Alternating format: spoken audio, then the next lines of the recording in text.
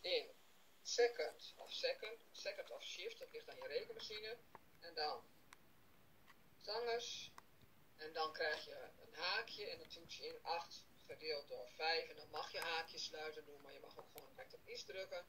En dan vind je, als het goed is, 57,99. Nog een heleboel achter de komma.